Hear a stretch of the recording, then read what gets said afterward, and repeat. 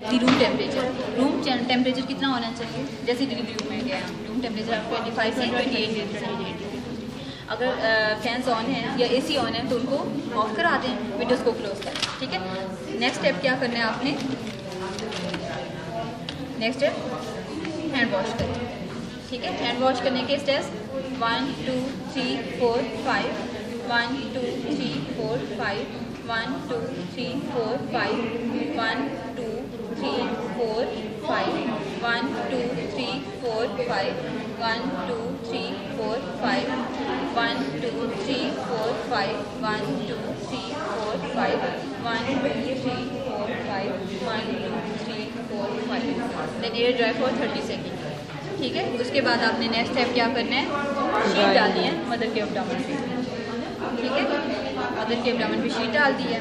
उसके बाद आपने एक और काम करना है जो कि बेबी की रिसेसिटेशन एरिया चेक करना है। ऑक्सीजन सिलेंडर होना चाहिए।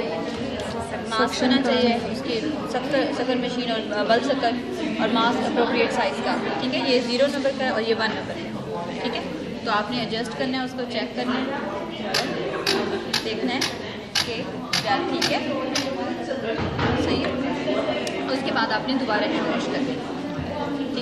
फाइव स्टेप्स करने one two three four five one two three four five one two three four five फिर डबल प्लस पहनना है?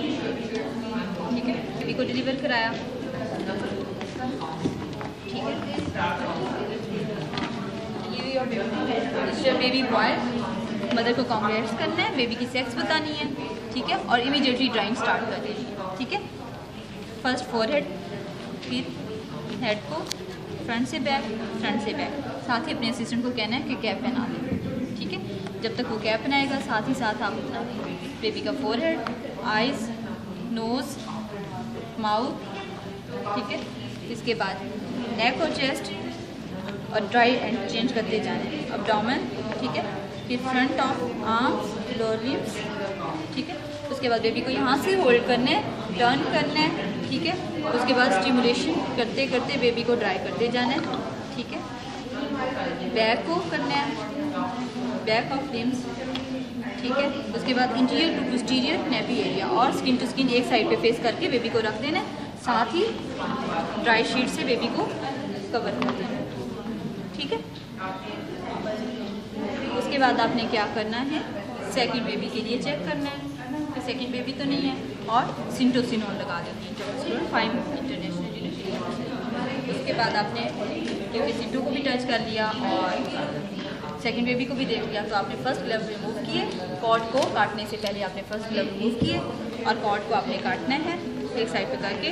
फ़र्स्ट स्लीव जो लगाना है टू सेंटीमीटर पे और सेकंड फ़र्स्ट क्लैम के थ्री सेंटीमीटर पे और अबडामन से five centimetre so first two centimetre second five centimetre और इन बिटवीन काट देना काट के आपने स्किन टू स्किन रख दिया उसके बाद आपने प्लेसेंटा रिमूव किया ठीक है, उसके कॉन्टिविजन सारे चेक किए, कि कंप्लीट है। ठीक है, के प्लेसेंटा हमें ब्रेन्स कंप्लीट है।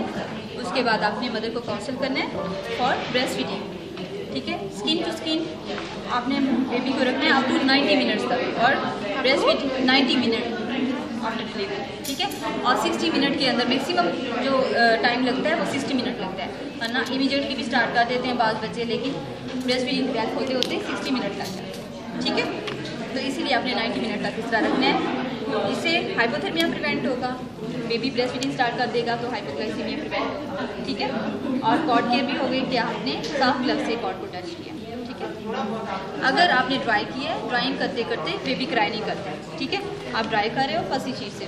ठीक है? आपने उसको वो वो भी बना दिया, आपने इस दौरान ऑब्ज़र्व किया बेबी कराया नहीं कर तो आप इमीजिएटली बेबी को, आपने फ़र्स्ट ग्लव रिमूव किए कॉर्ड को काटा, फिर आप सेकंड बेबी और सिंटो के लिए नहीं आया। करोगे ठीक है? बेबी को आपने कवर करके जिस सिचुएशन एरिया में लिया बता दें, बेटा हेयर बैग से ठीक है? जिस सिचुएशन एरिया में लिया है। ठीक है? सॉरी ये थोड़ा मैं बेबी को इसमें आपने बेबी को न्यूट्रल पोजीशन में बाकी पूरी बॉडी कवर कर दी बेबी की, ठीक है? ताकि हाथ हाइपोथर्मिया ना और आपने देखना है बेबी को कि माउथ में कोई सक्शन वो सक्रीशन वगैरह तो नहीं है? अगर तो कोई सक्रीशन हों तो फिर तो आपने पहले सेंटर से, फिर साइड से, और फिर नोस्टल से। ठीक है?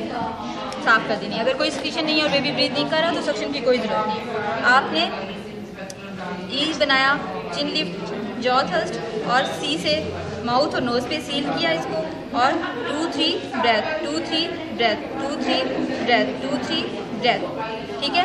थर्टी सेकेंड्स तक इस तरह किया है आपने और हार्ट रेट चेक किया। अगर तो हार्ट रेट हंड्रेड है और रेगुलर ठीक है? तो फिर आप कंटिन्यू रखें। Two three breath two three breath two three breath जब तक बेबी ब्रीद नहीं करता ट्राई नहीं करता। अगर तो बेबी क्राई कर गया और पिंक हो गया है तो आप इमीडिएटली स्किन टू स्किन रखें। अगर बेबी क्राई नहीं कर रहा और हार्ट रेट भी बिलो सिक्सटी है तो फिर आपने and one and two and three and breath ये वो है जब आप अकेले ही कर रहे हैं रिसोसिटेशन हैं? Breath and one and two and three and breath and one and two and three and breath ठीक है? उसके बाद आपने दोबारा हार्ट रेट चेक किया। अगर हार्ट रेट रेगुलर हो गया और ठीक हो गया और ब्रीदिंग की सिर्फ़ ज़रूरत है तो फिर आप two three breath two three breath two three breath two three breath two three breath ठीक है, अगर बेबी क्राई कर गया और पिंक हो गए इमीडिएटली आपने बेबी को कवर करना है, दोबारा स्किन टू स्किन मदर को फिर लेके आना। ठीक है? और उसके बाद आपने क्या करना है सेकंड बेबी के लिए देखना है सिंटो लगानी है और प्लेसेंटा और सेम मदर को काउंसल करना है फोर ब्रेस्ट ठीक? है